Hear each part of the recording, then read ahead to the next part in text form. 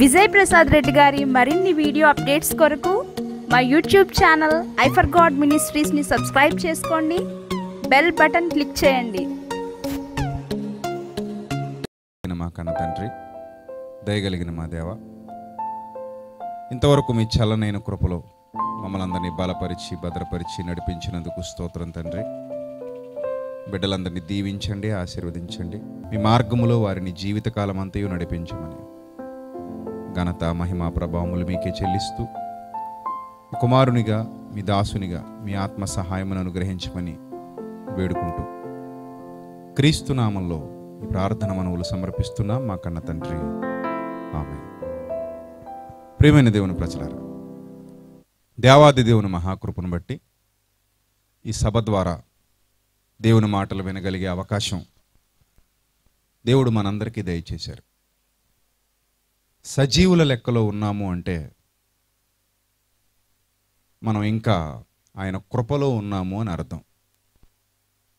ఆయన కృపలో ఎందుకున్నాము అంటే ఆయన ఇచ్చిన అవకాశాన్ని సద్వినియోగం చేసుకోవడానికి ఉన్నాం. భూమి మీద చాలామంది నేడు అనబడు సమయం ఉండగా తమను తాము చక్కదిద్దుకోలేకపోయారు. నేడు అనబడే సమయం ఉండగా ఈ నేడు అనబడే సమయాన్ని చాలామంది దుర్వినియోగం చేసుకున్నారు. అలా దుర్వినియోగం చేసుకున్న వారు ఎవ్వరూ కూడా ఈరోజు సజీవుల లెక్కలో లేరు. కానీ దేవుని మహాకృపను బట్టి ఈరోజు మనందరం సజీవుల లెక్కలో ఉన్నాము అని అంటే మనల్ని మనం దిద్దుకోవటానికి సమయం ఉపయోగపడాలి. మనల్ని మనం సంస్కరించుకోవడానికి సమయం ఉపయోగపడాలి. మనం దేవునికి దగ్గర కావడానికి సమయం ఉపయోగపడాలి. మనం మన సమయాన్ని సద్వినియోగం చేసుకోవడానికి ఈ క్షణాలు ఉపయోగపడాలి. ఈరోజు ఇక్కడికి వచ్చినటువంటి మీరందరూ దేవుని మాటలు వినాలనే వచ్చారు కదా? దేవుని మాటలు వినాలని వచ్చారా? విన్న మాటల ప్రకారంగా ప్రవర్తించాలని వచ్చారా? ఎలా వచ్చారు? ఏ ఉద్దేశంతో వచ్చారు? విని వెళ్ళిపోదామని వచ్చిన వాళ్ళు ఎంతమంది ఉన్నారు ఇక్కడ? విని వెళ్ళిపోదామని వచ్చిన వాళ్ళు. దేవుడు నాతో ఏదైతే మాట్లాడతారో ఆ మాటల ప్రకారంగా నేను ప్రవర్తిస్తాను అని వచ్చిన వాళ్ళు ఎంతమంది ఉన్నారు? రైట్ అంటే మీరు విని వెళ్ళిపోయే గుంపు కాదన్నమాట. అవునా? మీరెవ్వరూ కూడా విని వెళ్ళిపోయే గుంపు కాదు. మీరందరూ కూడా వినిన వాక్యం ప్రకారంగా ప్రవర్తించాలి. వినిన వాక్యాన్ని అనుసరించి జీవించాలి అనే స్థిర నిశ్చయత కలిగి ఇక్కడికి వచ్చారు. అలా వస్తే మీరు ధన్యులు. కానీ చాలామంది సభలకు ఎందుకు వస్తారంటే విన్ని వెళ్ళిపోవడానికి వస్తారు. ఎక్కువ శాతం మంది చేస్తున్నటువంటి తప్పు ఏంటంటే విని వెళ్ళిపోవడం. విని వెళ్ళిపోతే ఎలాంటి ప్రయోజనం? ఉండదు. విన్నదానిని మనసులో నింపుకొని దాని ప్రకారంగా ప్రవర్తించాలన్న నిశ్చయత ఎవరైతే కలిగి ఉంటారో వాళ్ళు వాళ్ళ క్రియలో సఫలులు అవుతారు మీతో సేవకుడు మాట్లాడుతూ ఒకసారి అందరూ లేచి నిలవబడండి అన్నాడు అనుకోండి మీరు ఏం చేస్తారు? లేచి నిలవబడండి అన్నప్పుడు అందరూ తలూపి అలాగే కూర్చుని ఉన్నారు అనుకోండి దాని అర్థం ఏంటి? లేచి నిలవబడండి అంటే తల ఊపారు అంటే విన్నట్ట అది? లేచి నిలబడితే విన్నట్టా? కదా? అంటే క్రియ జరిగితే క్రియ జరిగితే విన్నట్టు. క్రియ జరగకపోతే విన్నట్టు కాదు. పిల్లవాడిని అల్లరి చేయొద్దు అంటే అలాగే డాడీ అన్నాడు అనుకోండి. అల్లరి చేయొద్దు అంటే అర్థం ఏంటి? అలాగే డాడీ అన్నాడు. అలాగే డాడీ అని మళ్ళీ ఏం చేస్తున్నాడు? అల్లరి చేస్తున్నాడు. ఇప్పుడు పిల్లవాడు మాట విన్నాడా వినలేదా? ఎలా ఎలా చెప్పగలరు? వినలేదని అలాగే డాడీ అన్నాడుగా మరి? వినకుండా అలాగే డాడీ అంటాడా? మరి వినలేదని మీరు ఎలా చెప్పగలరు? అలాగే డాడీ అని అన్నాడు కదా. అల్లరి చేయొద్దు. అలాగే డాడీ చెయ్యను అన్నాడు. కానీ చేస్తున్నాడు. ఇప్పుడు విన్నట్టా వినలేనట్టా?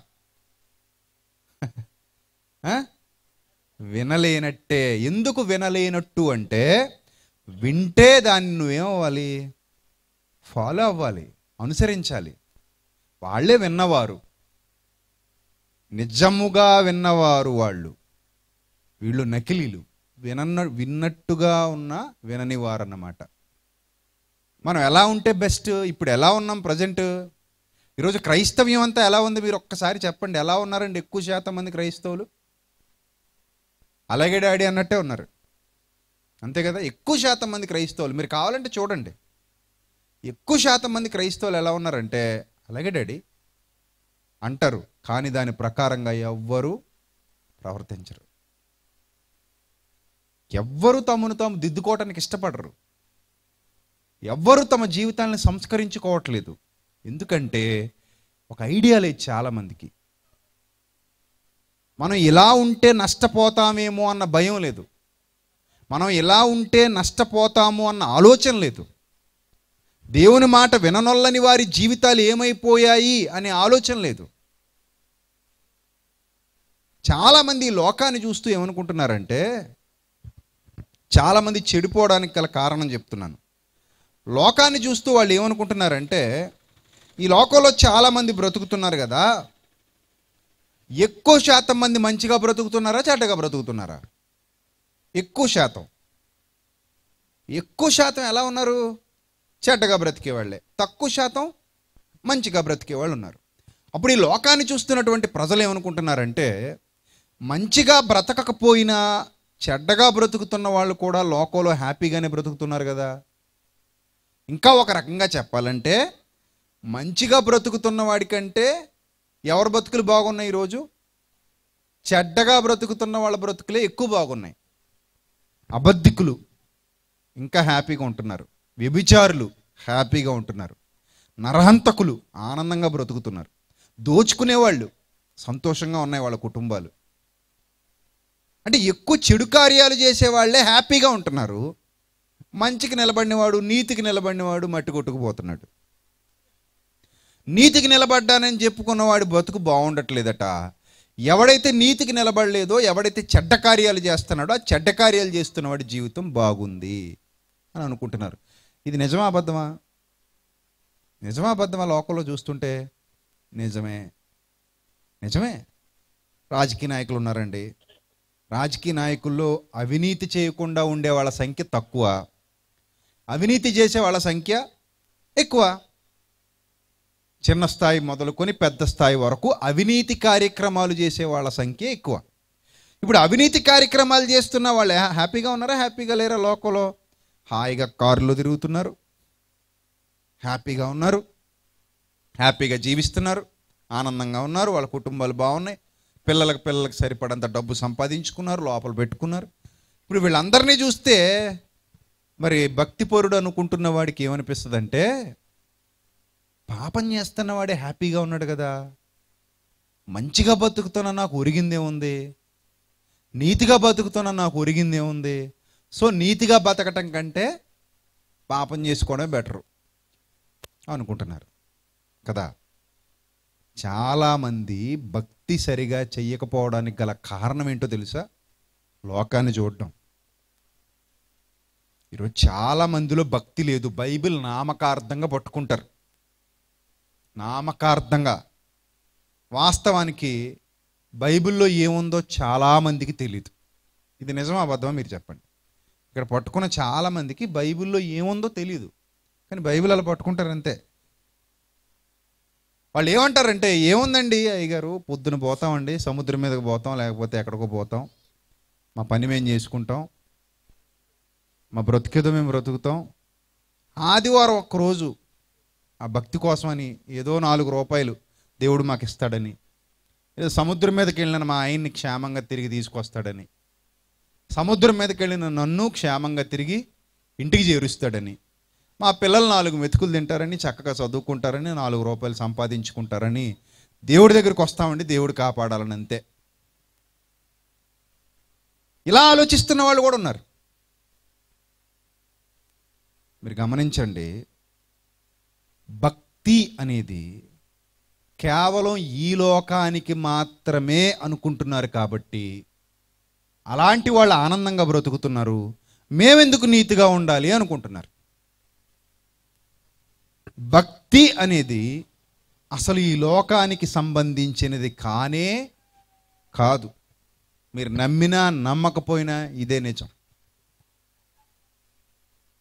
మీరు నమ్మినా నమ్మకపోయినా ఇదే నిజం. భక్తి అనేది ఇహలోక సంబంధమైనది కాదు. భక్తి అనేది దేనికోసం చేయాలి? భక్తి అనేది ఎక్కడ? దేనికోసం? దేనికోసం భక్తి? దేనికోసం దేవుణ్ణి నమ్ముతున్నాం మనం? దేనికోసం ఆయన మార్గాల్లోనికి వచ్చాం? ఇవన్నీ ఆలోచిస్తే బైబిల్లో చాలా క్లియర్ వివరణ ఉంది. ఆ వివరణ ఏంటంటే ఒక వ్యక్తి ఈ భూమి మీద బ్రతికినంత కాలం అతను ఎలా బ్రతుకుతున్నాడో దాని ఫలితాన్ని భూమిని విడిచిపెట్టాక శాశ్వత కాలం అనుభవిస్తాడు. ఇదే బైబిల్ చెప్తుంది. రాసి పెట్టుకోండి. ఈ భూమి మీద మనకి దేవుడు ఒక బ్రతికిచ్చాడు. ఇక నువ్వు భేదవాడిగా ఉన్నావా? ధనవంతుడిగా ఉన్నావా? పని చేసేవాడిగా ఉన్నావా? పని ఇచ్చేవాడిగా ఉన్నావా? గొప్పవాడిగా ఉన్నావా? చిన్నవాడిగా ఉన్నావా? ఇదంతా వేరే విషయం. కానీ ఇక్కడ నువ్వు బ్రతికే బ్రతుకు ఏదైతే ఉందో ఈ బ్రతుకును బట్టి నీకు నిత్య జీవితమా నిత్య నరకమా అనేది ఆధారపడి ఉంటుంది. ఈ సీక్రెట్ చాలామందికి తెలియకపోవడం వల్ల ఇక్కడ చెడ్డగా బతుకుతున్నోడే బాగున్నాడు కదా అనుకుంటా. ఇప్పుడు ఉగ్రవాదులు ఉన్నారు లేకపోతే స్మగ్లర్లు ఉన్నారు. వీళ్ళందరూ కూడా దొరకనంత వరకు దొరలు. దొరికాక ఇంకా కర్మ ఇంకొకటికి పట్టకూడదు అనుకుంటాం మనం ఎవరిని చూస్తామంటే దొరకని వాడిని చూస్తాం. దొరికిన వాడిని ఎందుకు చూడం? ఎంతోమంది రాజకీయ నాయకులు కుంభకోణాల్లో అరెస్ట్ అయిపోయి జైల్లో ఓసలు లెక్క పెట్టినప్పుడు స్థితి ఎలా ఉంది? అధికారంలో ఉన్నప్పుడు తినేసే టైంలో ఎలా ఉన్నాడు? అదే చూస్తున్నావు నువ్వు. ఓచలు లెక్క పెట్టేటప్పుడు ఎలా ఉన్నాడో? చూడవా? గంజాయి కేసుల్లో దొరకని వాళ్ళు ఉంటారు. దొరకని వాళ్ళు. వీళ్ళు ఏంటంటే చక్కగా గంజాయి తరలిస్తూ ఉంటారు. దొరకనంత కాలం దొరలే. డబ్బులు సంపాదించుకుంటారు. ఒక్కసారి దొరికేశాడు అనుకోండి. ఆ సంపాదించిందంతా మళ్ళీ పోలీసులకి లాయర్లకి పెడతాడు. ఏం మిగలదు.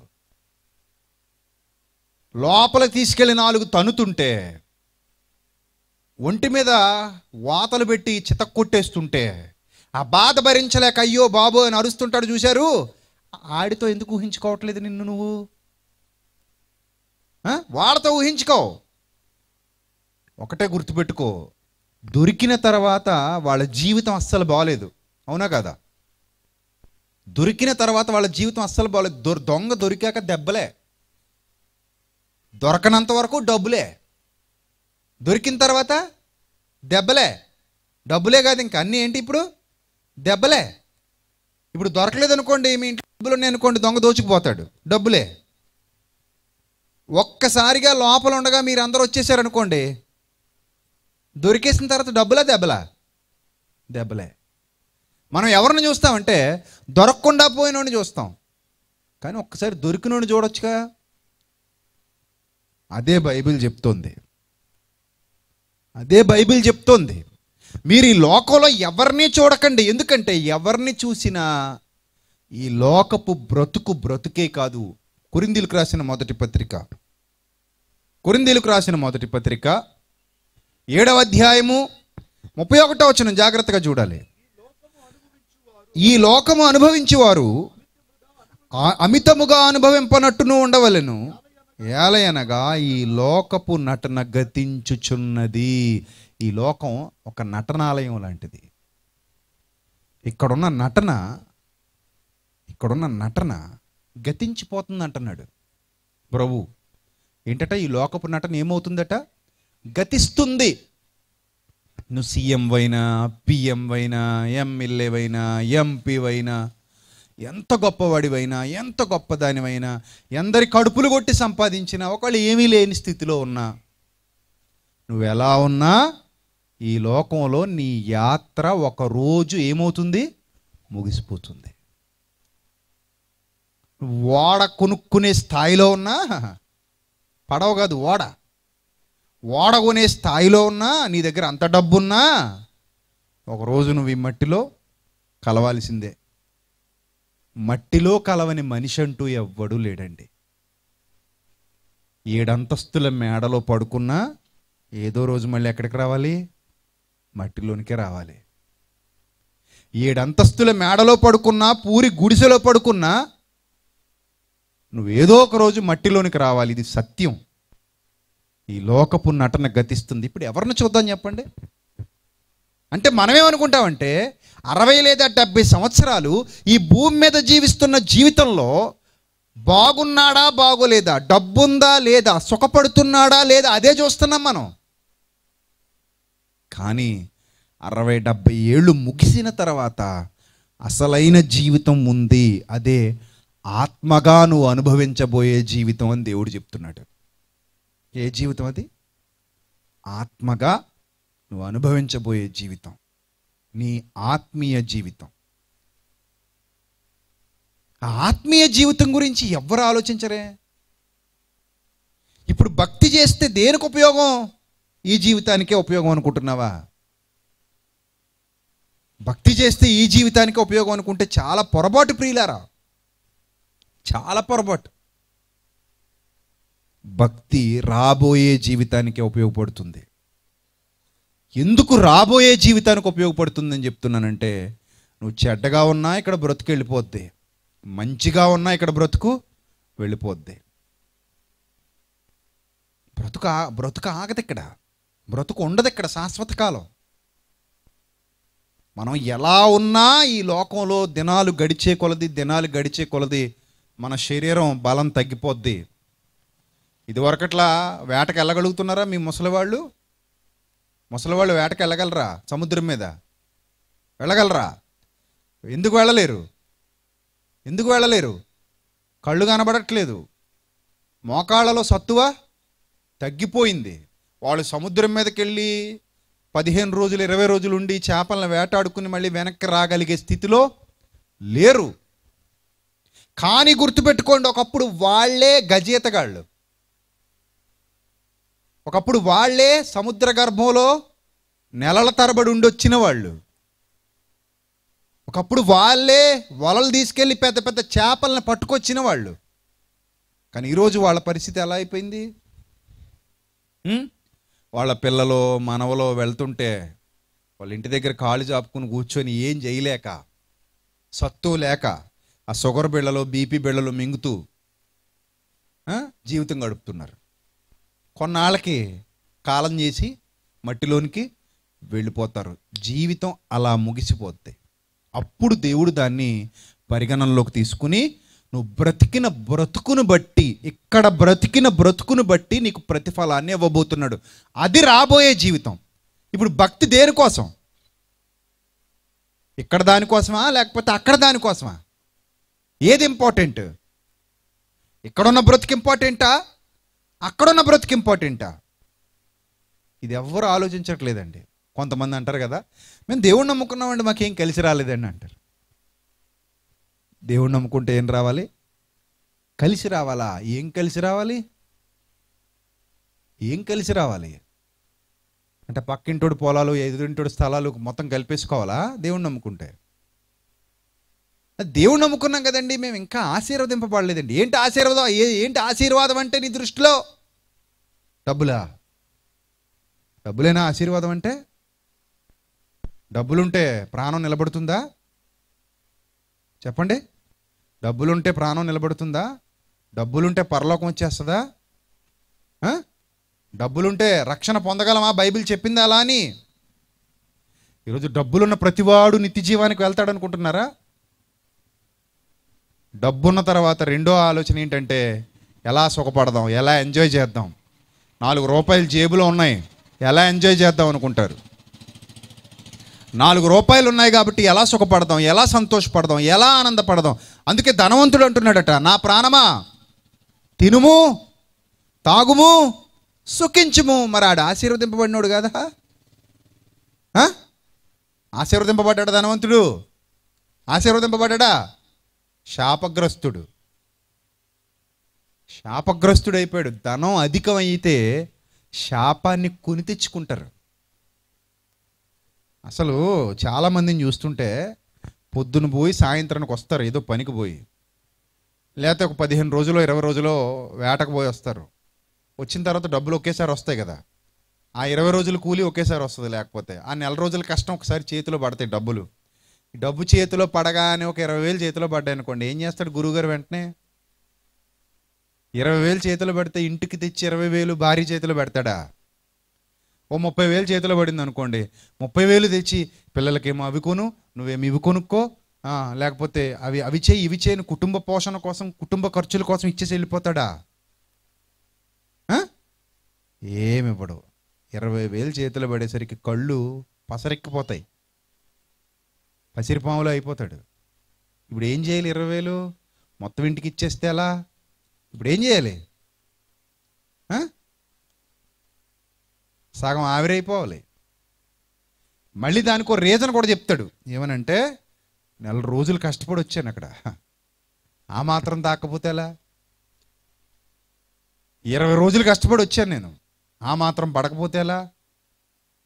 సో ఒక పక్క ఆ ఇరవై ముప్పై వేలు ఉంటేనే నేను పట్టుకోలేకపోతున్నాం కదా.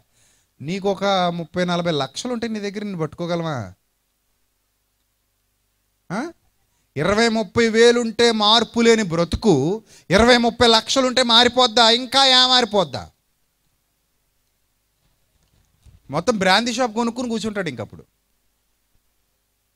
ఇరవై ముప్పై వేలుకే ఇంత అసహ్యంగా బ్రతుకుతున్నాడు. ఇరవై ముప్పై లక్షలుంటే ఇంకెంత అసహ్యంగా బ్రతుకుతాడు? కాబట్టి డబ్బు పెరిగే కొలది మనం ఆశీర్వదింపబడిపోతున్నాం అనుకుంటే పొరపాటు ప్రియులరా ఆ డబ్బుతో మనం నీచమైన కార్యాలు చేయాలన్న ఆలోచనలోకి ఎప్పుడైతే వెళ్తున్నామో ధనాపేక్ష సమస్తమైన కీడులకు మూలం. కాబట్టి ఆశీర్వాదం అంటే మనం సంపాదించుకునే రూపాయలు అనుకోకండి. చూడండి అపోస్తుల కార్యాలు. అపోస్తుల కార్యాలు మూడవ అధ్యాయము ఇరవై ఆరో వచనం. దేవుడు తన సేవకుని పుట్టించి మీలో ప్రతివానిని వాని దుష్టత్వము నుండి మళ్ళించుట వలన మిమ్మును ఆశీర్వదించుటకు ఆయనను మొదట మీ యొద్దకు పంపెనని చెప్పెను. ఆయనను మీ యొద్దకు ఎందుకు పంపెను? చెప్పండి ఆయనను మీ యొద్దకు ఎందుకు పంపెను? దుష్టత్వము నుండి మిమ్మల్ని మళ్ళించుట వలన మిమ్మును ఆశీర్వదించుటకు ఏంటట ఆశీర్వాదం? దుష్టత్వం నుండి మళ్ళింపబడటమే ఆశీర్వాదం. గమనించండి ఆత్మీయ సత్యాలు. ఆత్మీయ సత్యాలు ఆత్మ సంబంధమైన సత్యాలు ఇవి. దుష్టత్వం నుండి మళ్ళింపబడటమే ఆశీర్వాదం. ముప్పై లక్షలు నీకు వచ్చేస్తే అది కాదు ఆశీర్వాదం. ముప్పై లక్షలు నిజంగా నీకు వచ్చేస్తే మరింత దరిద్రంగా తయారవుతావు నువ్వు. ఎందుకంటే ముప్పై వేలకే నీ దగ్గర ఏమీ లేదు? ఏమీ లేదు. నిలకడలేదు. యథార్థత లేదు నేను పట్టుకోలేకపోతున్నాం. కదా? చాలామందిని చూస్తుంటాం కదా మనం. డబ్బు వచ్చేంత వరకు ఒకలా ఉంటారు. డబ్బు వచ్చేస్తే ఇంక పట్టుకోగలమా? అస్సలు పట్టుకోలేము. ఎక్కడికో పోతారు ఇంకా. మళ్ళీ తానొక్కడే కాదు చుట్టూ ఉన్న వాళ్ళు కూడా పోయిస్తాడు. ఇక నాకు లెక్కలేదు అంటాడు. బస్తీమే సవాలంటాడు ఇంకా. కదా? ముప్పై వేలకే ఇంత ఎత్తెగురుతున్నావు కదా? ముప్పై లక్షలకి ఇంకెంత ఎత్తెగురుతావో అందుకని దేవుడు అరే నాయన డబ్బు పెరిగిపోతూ ఉంటే అది ఆశీర్వాదం కాదురా నాయన బీపీ. ఎవడ కొట్టేస్తాడో అని బీపీ. నిజంగా మీ ఇంట్లో ముప్పై లక్షలు ఉన్నాయనుకోండి మీరు ఇంత ధైర్యంగా వచ్చి ఇక్కడ కూర్చుంటారు ఇప్పుడు? కూర్చుంటారా? ఎందుకు కూర్చోరు? నీ ధనం ఎక్కడ ఉండునో? నీ ధనం ఎక్కడ ఉండునో? నీ హృదయము అక్కడే ఉంటుంది. అప్పుడు ఏమనుకుంటారంటే భార్యాభర్తలు ఏమండి ఈరోజు మీటింగ్కి మీరు వెళ్ళండి. నేను కాపలా ఉంటానండి. ఏ? బీరువాలో ముప్పై ఉన్నాయి కదండి. ఎవడొకడు కొట్టేయకుండా నేను కాపలా ఉంటాను. అప్పుడు ఇతనికి నీ మీద అనుమానం అనుకో. అమ్మో నువ్వు మళ్ళీ ఇందులో సగం కొట్టేసి మీ అమ్మగారికి ఎవరికో పంపించేసుకుంటావు? లేకపోతే ఏవో కొనేసుకుంటావు? నీ మీద అనుమానం అనుకో. కొంతమంది భార్యలను నమ్మరు. మరి ఏం చేస్తాం? అదో అదొక గొప్ప దాంపత్యం అది. ఊరందరిని నమ్ముతారు కానీ ఎవరిని నమ్మరు? భార్యని నమ్మరు. అందుకని వాడికి నా వాడికి నీ మీద నమ్మకం లేదనుకో వద్దులేవే ఆ సభకేదో నువ్వేవో ఇంట్లో నేను ఉంటానంటాడు. అప్పుడు ఈవిడ అంటది కదా అమ్మో ఈడు తాగుబోతాడు ఈ ముప్పైలో పదిహేను పట్టుకుపోతే పట్టుకుపోవచ్చు. అని వద్దులే ఇంకిద్దరం మానేద్దాం ఇద్దరు ఇక్కడే ఉందాం అనుకుంటారు. ఇక నువ్వు కాదు నేను కాదు ఇద్దరు ఇక్కడే ఉందాం. నీ ధనం ఎక్కడ ఉండునో నీ హృదయము అక్కడే ఉంటుంది. సో ఇది ఆశీర్వాదం అని ఎవరు చెప్పారు మీకు? కొన్ని బోధలు అలా ఉన్నాయి మరి ఏం చేస్తాం? ఎవరు ఎక్కువ డబ్బులు సంపాదించుకుంటున్నారో వాళ్ళని దేవుడు ఎక్కువ ఆశీర్వదించాడు అనుకుంటున్నారు. కానీ వాళ్ళ బ్రతుకులు బాగుండట్లేదు. మీరు కావాలంటే పరిశీలన చేసుకోండి. ఎక్కువ డబ్బులు ఉన్న వాళ్ళు ఎక్కువ విశ్వాసంగా ఉంటున్నారా? తక్కువ ఉన్న వాళ్ళే విశ్వాసంగా ఉంటున్నారా? చూసారా? నిజంగా బీదవాడే ఎక్కువ విశ్వాసంగా ఉంటాడండి. డబ్బున్నోడు ఉండడు. ఎక్కువ డబ్బు పెరిగిపోతుంది అనుకోండి ఆ విశ్వాసం కూడా ఆటోమేటిక్గా ఏమైపోద్ది? తగ్గిపోద్ది. ఒకని కలిమి విస్తరించుట వాని జీవమునకు మూలము కాదు. బైబిల్ చాలా స్పష్టంగా చెప్తుందండి. మనమే చదవడంలో పొరపాటు పడతాం. ఒకని కలిమి విస్తరించుట వాని జీవమునకు మూలము కాదు. డబ్బు పెరిగిపోయే కొలది వాడు ఆశీర్వదింపబడినట్టు కాదు. ప్రమాదంలో పడుతున్నట్టు. కోట్లు పెరిగిపోతున్నాయి. కోట్లు పెరిగిపోతుంటే ఆ మనిషి ఏం చేస్తాడు తెలుసా? దేవుణ్ణి పక్కకు పెట్టి ఇదే నా బలం అనుకుంటాడు. డబ్బున్నవాడికట డబ్బే బలమట. డబ్బు లేని వారి బలం ఎవరు మరి? అది అప్పుడు గుర్తొస్తాడు దేవుడు. డబ్బున్నవాడికి డబ్బే బలం. వాడు ఏమనుకుంటాడంటే మనసులో ఇదిగో కొట్లు కట్టించాను. ఈ సంవత్సరం ధాన్యం విస్తారంగా పండింది. నా కొట్లు విప్పించేసి వాటి స్థానంలో మరి పెద్ద కొట్లు వాటికంటే గొప్ప వాటిని కట్టించి అందులో నా ధాన్యం అంతటిని నా ఆస్తిని సమకూర్చుకొని అప్పుడు చెప్తాడు ప్రాణంతో నా ప్రాణమా? అనేక సంవత్సరములకు విస్తారమైన ఆస్తి నీకు సమకూర్చి పెట్టేశాను. సుఖించేసారి తిను త్రాగు సంతోషించు. అని ప్రాణంతో చెప్పుకోవాలనుకుంటాడు. దేవుడితో చెప్పుకోవడం ఇంకేమిని. ఇంకా మాటల్లో దేవుడితో లేవు. ప్రార్థన లేదు. ప్రార్థన ఆగిపోయింది. ఎందుకు ప్రార్థన ఆగిపోయింది? నా దగ్గర ఎంత డబ్బు ఉండగా నేను ఎందుకు ఇంకా ప్రార్థన చేయడం? నా దగ్గర ఎంత ఆస్తి ఉండగా నాకు దేవుడు ఎందుకు? ఆస్తి ఉంటే ఏదైనా చేయొచ్చు. కొంతమంది అంటారు కదా డబ్బు ఉంటేనట కొండ మీద నుంచి దేన్ని దింపుతారట? కోతున. అసలు కొండ మీద కోతుంటుందా ఉంటుందా? ఉండదు. ఆ కూతు కూడా ఏ చెట్టు మీదో ఏ పుట్ట మీదో దాని కాయ కోసం పండు కోసం అది తిరుగుతూ ఉంటుంది.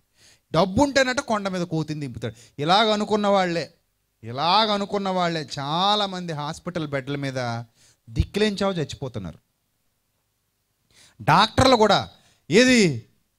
అంత టెక్నాలజీ ఉండి అంత గొప్పగా వైద్యం చేయగలిగే డాక్టర్లు కూడా లాస్ట్ స్టేజ్లో ఏమంటున్నారు తెలిసి? అన్ని డబ్బులు ఖర్చు పెట్టించేశాక?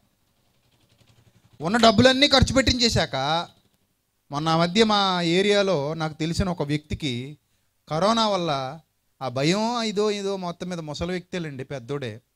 బాగా ఎక్కువైపోయింది. ఆ భయం పెరిగిపోయింది. భయం పెరిగిపోయేసరికి ఇంకే మొత్తం మీద లోపల ఏదో తేడా జరిగిపోయింది. అతనికి బీపీ షుగర్ ఇంకా వగైరా ఉన్నట్టున్నాయి. తీసుకొచ్చి ఇదే కాకినాడలో పడేశారు. కాకినాడలో పడేస్తే ఇంచుమించు పన్నెండు రోజులు పదమూడు రోజులు ఐసీయూలో ఉన్నాడు. దాదాపు పన్నెండు లక్షలు తినేశారు. ఆ తర్వాత ఏమండి? మేము చేయాల్సింది మేము చేసాం ఆహా. మరి ఇప్పుడు ఏం చేయాలండి? మీరు మీ దేవుణ్ణి అడగండి. ఎవరిని అడగాలి? మరి పన్నెండు లక్షలు ఏం చేశారు? మరి పన్నెండు లక్షలు ఉన్నాయన్న ధైర్యాన్ని ఏం చేశారంటున్నాను? పన్నెండు లక్షలు ఉన్నాయన్న ధైర్యం ఉంది చూసావు అది నకిలీ భ్రమ ఎండమావి. ఎండమావి. ఎండమావిలో దాహం? తీరదు. ఇది నకిలీ ధైర్యం. నా దగ్గర పన్నెండు లక్షలు ఉన్నాయి నా దగ్గర ఇరవై లక్షలు ఉన్నాయి నా దగ్గర యాభై లక్షలు ఉన్నాయి లేకపోతే నా దగ్గర లక్ష రూపాయలు ఉన్నాయి నా దగ్గర ఇన్ని వేలు ఉన్నాయి అన్ని వేలు ఉన్నాయి ఇది నకిలీ ధైర్యం. ప్రాణాల మీదకి వచ్చినప్పుడు నిన్నెవ్వడూ కాపాడలేడు. అందుకే దేవుడు అంటున్నాడు ఉగ్రత దినమున ఆస్తి అక్కరకు రాదు. మరి ఆస్తి ఉన్నవాడు ధనము ద- ఆశీర్వదింపడినవాడు అని ఎలా చెప్తున్నావు నువ్వు? ఆస్తుంటే చచ్చిపోరా చెప్పండి. అప్పుడు మాట్లాడుకుందాం మిగిలిన విషయాలు. మీరే చెప్పాలి నాకు. ఆస్తున్నవాడు చచ్చిపోడండి అని చెప్పాలి నాకు. కలకాలం బ్రతుకుతాడండి శాశ్వత కాలం ఆస్తున్నవాడు. చెప్పు చెప్పగలరా? చెప్పగలరా? చెప్పలేరు. వెండి బంగారాలు ఉన్నవాడైతే చచ్చిపోడండి. చావును తప్పిస్తాయండి వెండి బంగారాలు. వెండి బంగారం గట్టిగా ఎవరి దగ్గర అయితే ఉందో వాళ్ళు చావరు అని చెప్పండి పోని. పోనీ అలా చెప్పగలరా? అది అవదా? అవ్వదు మరేంది? కాకినాడ మెయిన్ సెంటర్లో ఒక ఐదు ఎకరాల పొలం స్థలం ఉందంటే ఇంక చచ్చిపోడండి. కాకినాడలో ఐదు ఎకరాలంటే మాటలా. ఐదు ఎకరాలు ఎందుకు కర్మ? కాకినాడ మేనేజ్ మెయిన్ సెంటర్లో ఐదు సెంట్లు ఉంటే చాలు. మనం పట్టుకోలేము ఇంకా. ఏ భానుగుడి జంక్షన్లోనో ఒక ఐదు సెంట్లు ఉందనుకోండి మన పేరు మీద. ఇంక మనం పట్టుకోగలమా? కదా? చాలా కాస్ట్ కదా ఇప్పుడు. కాకినాడలో స్థలం అంటే బాగా రేటు. మెయిన్ సెంటర్లో. నాకు తెలిసి ఎక్కడెక్కడే రేట్లు ఫుల్గా ఉండి ఉంటాయి. అక్కడ వరకు ఎందుకు? వాళ్ళు చనిపోరండి అని ఏమైనా చెప్పగలరా? వాళ్ళు చచ్చిపోతారు. మరి ఇంకేంది? ఏది ఉంటే మనిషి ప్రాణం నిలబడుతుంది? డబ్బా ఆస్త వెండ బంగారమా పదవా చదువా అధికారమా ఐశ్వర్యమా ఏది? నీ ప్రాణాన్ని ఏది కాపాడుతుంది? ఏది కాపాడుతూ మరి ఇప్పుడు చెప్పండి ఆశీర్వాదం అంటే ఇక్కడ ఉన్నవా నిజమైన ఆశీర్వాదం ఇక్కడ ఉన్నవా కావు ప్రియులరా అందుకే ఇప్పుడు కూడా దేవుడు నిన్ను బాగా ఆశీర్వదించాడే. మమ్మల్ని ఇంకా ఆశీర్వదించలేదు. నిన్ను మాత్రం ఏం చేశాడు? బాగా ఆశీర్వదించాడు. వీళ్ళ దృష్టిలో ఎలా అంటే ఒకరోజు ఒక ఆయన వచ్చాడు. ఒకరోజు ఒక విశ్వాసే నాతో మాట్లాడుతూ అన్నాడు. నేను చాలా సంవత్సరాలుగా విశ్వాసంలో ఉన్నానండి. కానీ చూడండి అతనికిలా నేను లేను అతను అంత భక్తిగా ఉండడండి. కానీ అతను దేవుడు బాగా ఆశీర్వదించాడండి. నన్ను ఆశీర్వదించలేదండి అన్నాడు. ఏం ఆశీర్వదించాడు అయ్యా అతను అంటే అతనికండి కారు ఉందండి బంగ్లాలు ఉన్నాయి అన్నీ ఉన్నాయి. నా అలాగే ఉద్యోగం చేసుకునేవాడు. నేను ఇద్దరం కలిసే చర్చికి వెళ్ళేవాళ్ళం. కానీ నేను ఇలాగే ఉండిపోయాను. వాడు మాత్రం రోజు రోజుకి రోజు రోజుకి ఎదుగుతూ వెళ్ళిపోయాడు. ఇప్పుడు చాలా గొప్ప స్థితిలో ఉన్నాడండి. దేవుడు ఆశీర్వదించాడు. నన్ను మాత్రం అలాగే వదిలేశాడు. అప్పుడు నేను అన్నాను నీకు షుగర్ ఉందా? లేదు. బీపీ ఉందా? లేదు. మరి అతనికి?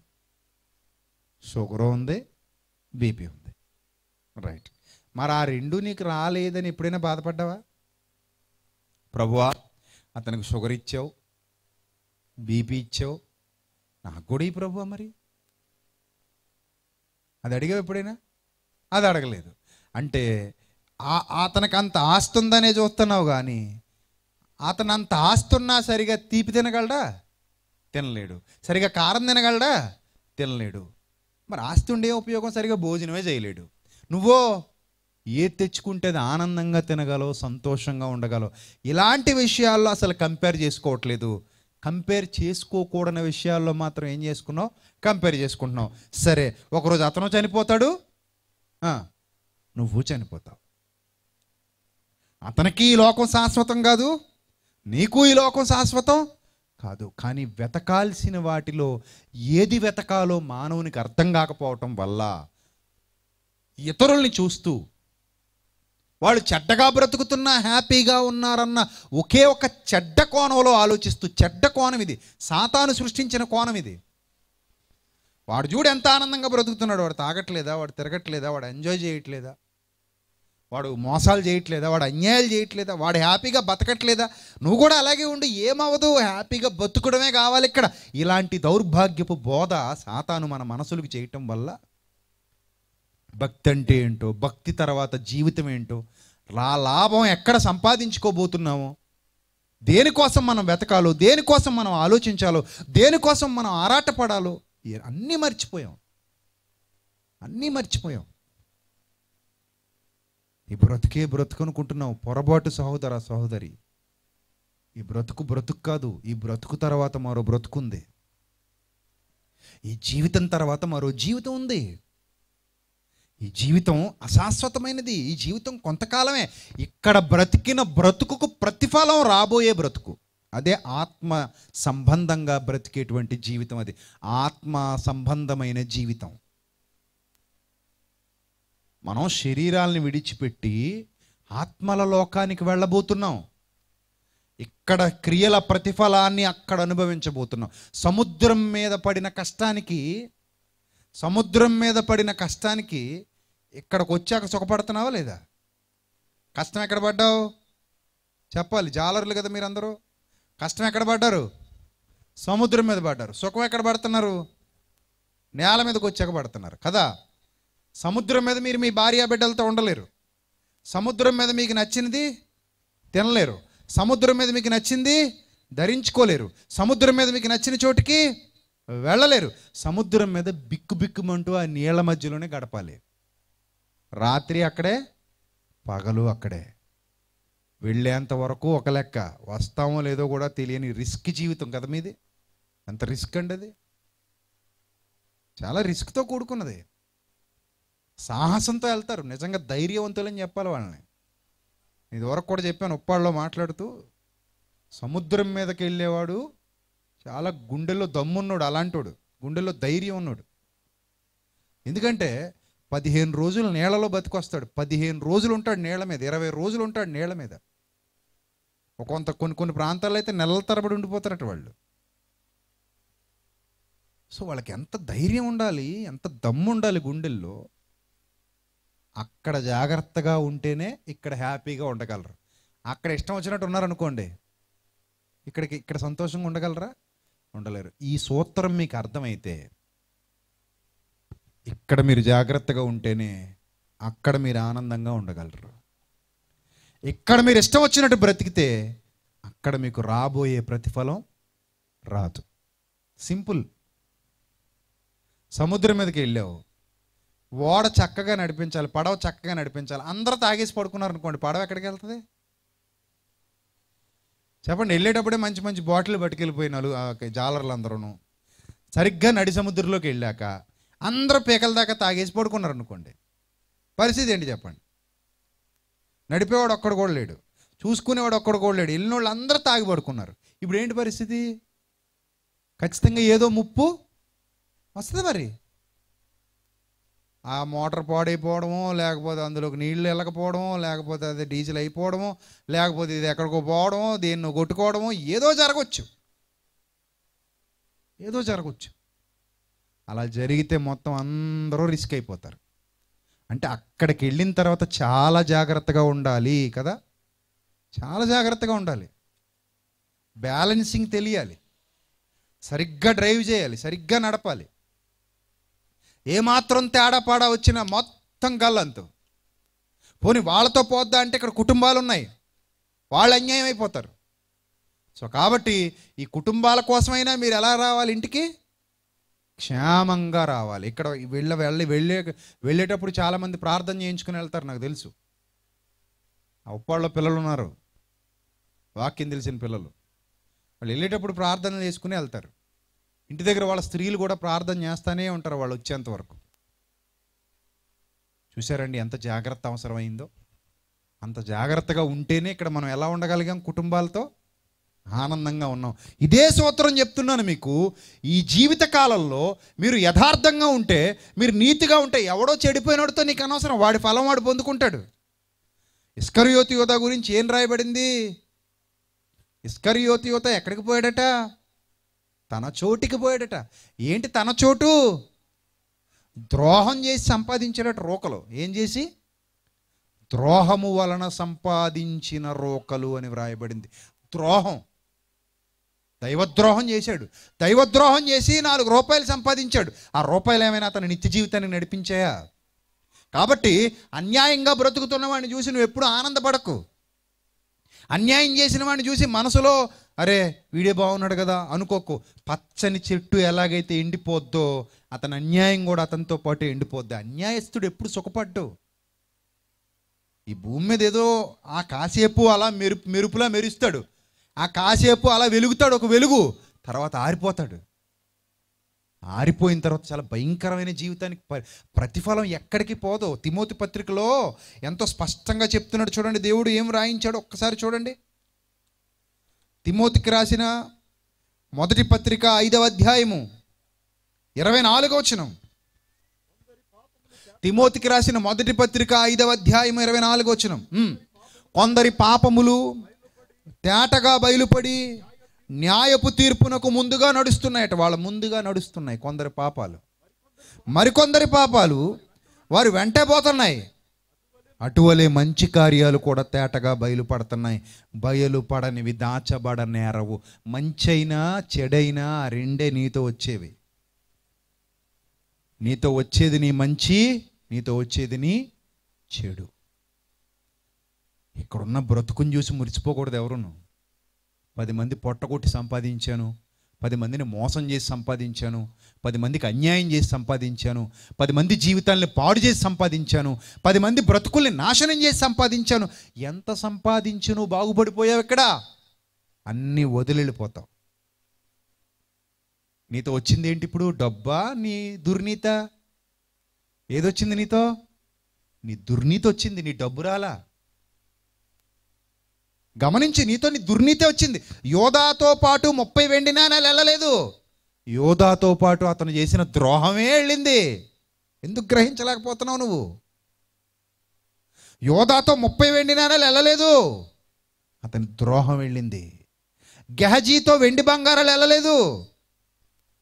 అతని శాపం వెళ్ళింది. ఆకాను దాచుకున్న ధనంతో పోలేదు. శాపగ్రస్తుడై మరణం వెంట పోయాడు. మీరు ఆలోచించండి. అననీయ సప్పిరాలు దాచుకున్న ధనంతో సంతోషంగా పోలేదు వాళ్ళు. ధనాన్ని ఇక్కడే వదిలేశారు. శాపాన్ని కొని తెచ్చుకుని మరణం వెంట పోయారు. ఎప్పుడైనా సరే బైబిల్ చాలా స్పష్టంగా చెబుతోంది నీతో వచ్చేది నీ మంచి నీతో వచ్చేది నీ చెడు.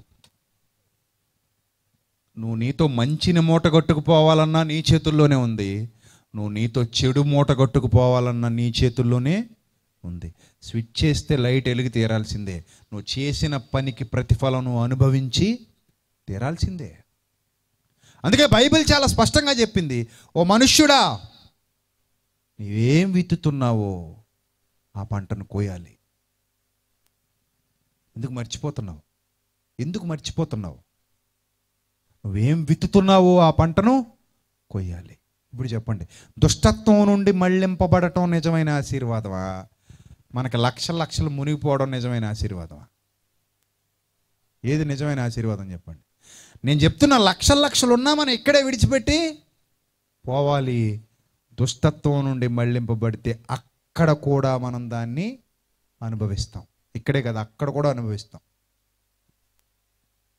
అదే చెప్పాడు అపోస్తుల కార్యాలు మనం చదువుకున్నమాట దుష్టత్వము నుండి మిమ్మును మళ్ళించుట వలన మిమ్మును ఆశీర్వదించుటకు ఆయనను మొదట మీ యొత్తకు పంపెను. యేసుక్రీస్తు ఈ లోకానికి నీ జీవితంలోకి ఎందుకు వచ్చాడు? నిన్ను ఆశీర్వదించడానికి వచ్చాడు. యేసుక్రీస్తు నీ జీవితంలోకి ఎందుకు వచ్చాడు? నిన్ను ఆశీర్వదించడానికి. ఏంటి ఆశీర్వదించడం అంటే? దుష్టత్వం నుండి నిన్ను మళ్ళించటం. అది బైబిల్ చెబుతుంది చాలా స్పష్టంగా. దుష్టత్వం నుండి నిన్ను మళ్ళించటమే నీకు నిజమైన ఆశీర్వాదం. అది ఒక్కటి ఉంటే చాలు. గంజినీళ్ళు తాగైనా హాయిగా బ్రతుకుతాం ఆనందంగా బ్రతుకుతాం. కోట్లు కూడబెట్టేసుకుని కోట్లు కోట్లు కోట్లు సంపాదించేసుకుని చచ్చిపోయేటప్పుడు ఏమీ లేకుండా నిత్య జీవితం లేకుండా ఈ ధనమే దేవుడు అనుకుని ఈ ధనమే శాశ్వతం అనుకుని ఈ ధనమే నాకు నిజమైన ఆశీర్వాదం అనుకుని ఈ ధనం ఉంటే నేను ఏదైనా చేసేయగలను అనుకుని వెర్రవీగి దేవుని స్థానంలో ఎవరిని పెట్టేశారు చాలామంది? ధనాన్ని పెట్టేశారు. దేవుని స్థానం ధనానికి ఇచ్చేశారు. దేవుడు ఉండవలసిన స్థానంలో ఎవరు వచ్చి కూర్చున్నారు? ధనం వచ్చి కూర్చుంది. అందుకే ప్రభు అంటున్నారు ఏ మనుష్యుడు ఇద్దరు యజమానులకు దాసుడుగా ఉండనేరడు? అయితే వాడు దేవుణ్ణి ప్రేమిస్తే ధనాన్ని ప్రేమించడు. ధనాన్ని ప్రేమించేవాడు దేవుణ్ణి ప్రేమించడు. నేను ధనాన్ని దేవుణ్ణి ఇద్దరిని సమానంగా ప్రేమిస్తున్నాను అన్నవాడు దొంగ. ధనాన్ని ప్రేమిస్తే దేవుణ్ణి ప్రేమించలేవండి. దేవుణ్ణి ప్రేమిస్తే ధనం కోసం ధనాపేక్షతో బ్రతకలేమండి. మనకు దేవుడు ఇచ్చిన దానితో సంతృప్తి కలిగి ఉంటాం. ఆయన ఆయన ఇచ్చింది చాలు మనకి. ఆయన ఏదైతే ఇవ్వాలో ఆయనకి తెలుసు ఆయన ఇవ్వగలడు. ఎంత ఇవ్వాలో ఏమి ఇవ్వాలో ఆయనకి తెలుసు. ఎవరికి ఇవ్వాలో ఈ భూమి మీద మనకి ఎంత అవసరమో ఎప్పుడు అవసరమో ఎలా అవసరమో ఆయనకి తెలుసు. అందుకే మీరు చింతించకండి ఆయన ఆ సమయంలో మీకు కావాల్సింది అనుగ్రహింపబడుతుంది అన్నాడు అంతే మీకేమి కావాలో మీ పరలోకపు తండ్రికి తెలుసు. మీరు దాని వెంట పడకండి. దాని వెంట పడకండి. దాని వెంట పడి బాగుపడిన వాడు ఎవ్వడూ లేడు. ఆయాసంతో చచ్చిపోయారు. ధనం వెంటపడి ఆయాసంతో చచ్చిపోయారు తప్ప ఆనందంతో చచ్చిపోలేదు ఎవరును. చరిత్ర చదవండి కావాలంటే. చరిత్ర చదవండి. ధనం వెంటపడి ఆనందంతో చచ్చిపోయినాడు ఎవ్వడూ లేడు. ఆయాసంతో చచ్చిపోయిన వాళ్ళే ఉన్నారు. మరి మనకు కావాల్సిందేంటి? నిత్య జీవితం. రాబో జీవితం. యుగయుగాల జీవితం. ప్రభుతో సంతోషం ప్రభుతో ఆనందం. అది నీ మరణం తర్వాతే ఉంది. మరణానికి ముందు నీకు ఇవ్వబడిన టాస్క్ ఇది. Good or bad. Godly things or evil things. నువ్వు ఏది నిర్ణయించుకుంటావో అదే నీ భవిష్యత్తు. నువ్వు ఏది ఆలోచిస్తావో అదే నీ భవిష్యత్తు. నువ్వు యథార్థంగా నీతిగా భక్తిగా ఆలోచిస్తావా? నీ భవిష్యత్ అంతా అందంగా ఉంటుంది.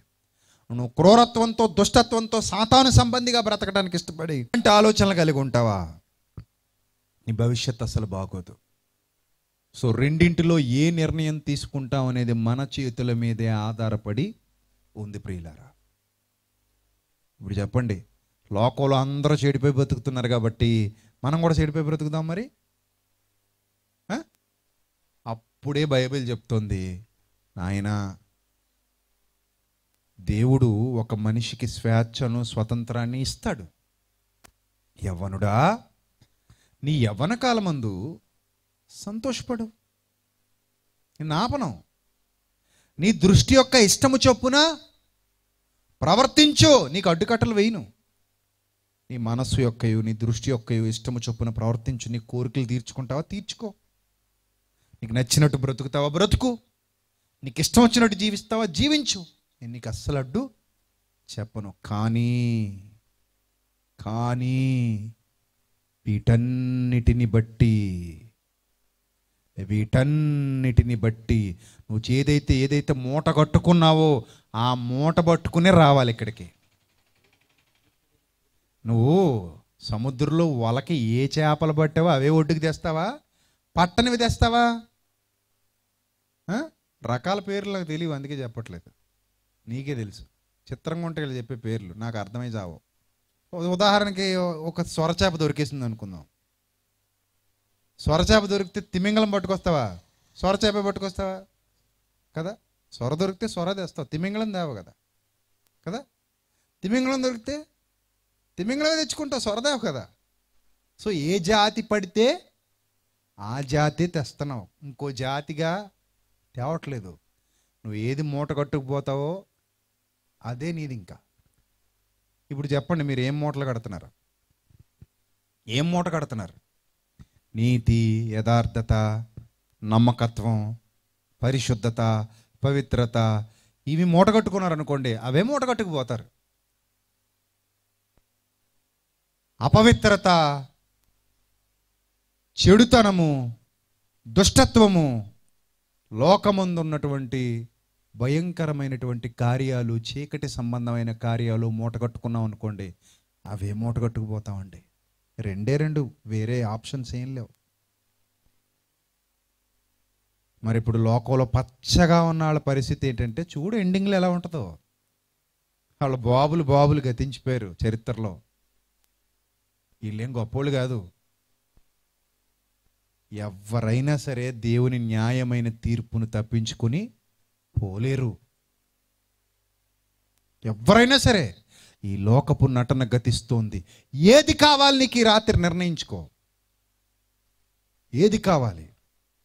లోకాన్ని చూసి నువ్వు చెడిపోతావా? చెడిపోయిన వాళ్ళని చూసి నువ్వు చెడిపోతావా? పడిపోయిన వాళ్ళని చూసి నువ్వు పడిపోతావా? పాడైపోయిన వాళ్ళని చూసి నువ్వు పాడైపోతావా? పలానా ఆయన సేవకుడండి ఆయనే పాడైపోయాడండి నేను పాడైపోగా వచ్చింది ఏందండి? అంటాడు ఒకడు. పలానా గొప్ప విశ్వాసిగా ఉండేవాడండి ఆయనే చెడిపోయాడండి నేను చెడిపోతే వచ్చిందా అండి? అంటాడు ఇంకొకడు. వాడు సముద్రంలో దూకేశాడని నువ్వు దూకేస్తావా? దూకేస్తావా? అబ్బే అక్కడ కంపేర్ చేసుకోం. వాడు తాగాడు కాబట్టి నేను తాగాను అంటావు మరి వాడు విషం తాగుతాడు నువ్వు విషం తాగుతావా? విషం అయితే తాగమండి బ్రాందీ అయితే తాగుతామండి. వాడు తప్పు చేశాడు కాబట్టి నేను తప్పు చేయొచ్చు. వాడు చెడిపోయాడు కాబట్టి నేను చెడిపోవచ్చు. ఏంటి కంపారిజన్ వాళ్ళతో నీకెందుకు? ఎవరి బ్రతుకు వాళ్ళదే. ఎవరి మంచి వాళ్ళదే ఎవరి చెడ్డ వాళ్ళదే. ఎవరితోనూ కంపేర్ చేసుకోవద్దు. నువ్వు ఒక ప్రత్యేకింపబడిన వ్యక్తివి. నీ బ్రతుకు నీదే ఎవరితో మనకెందుకు? వాళ్ళు చెడిపోతే ఆ ఫలాన్ని వాళ్ళు పొందుకుంటారు. నువ్వు మంచిగా ఉండు. నేను చెప్తున్నాను కదా ఎవరు ఏది మూట కట్టుకుపోతారో అదే వాళ్ళ భవిష్యత్తు. నువ్వు మంచిగా ఉంటే మంచి జీవితం ఉంది. చెడిపోతే అలా ఆ ప్రతిఫలమే ఉంది. నువ్వేమి విత్తుతువో ఆ పంటనే కోస్తావు నాయన. ఏం విత్తుతావో ఆ పంటనే కోస్తావు. ఇంత క్లియర్గా సబ్జెక్ట్ ఉన్న తర్వాత ఇప్పటికీ మనకి ఆ విషయం అర్థం కాకపోతే మనల్ని ఎవరు బాగు చేయగలరు చెప్పండి? పడిపోయిన వాళ్ళతో పడిపోమని చెడిపోమని దేవుడు కోరు కోరట్లేదు ప్రియులరా. పడిపోయిన వాళ్ళ మధ్యలో నిలబడి ఉండమని కోరుతున్నాడు. పది మంది పడిపోయారండి పది మందితో పాటు పదకొండో వాడిగా నేను పడిపోయానండి అంటే అదేం గొప్పతనం కాదు. పది మంది పడిపోయారండి. పదకొండో వాడిగా నేను ఒక్కడనే నిలబడ్డానంటే అది గొప్పతనం అంటే.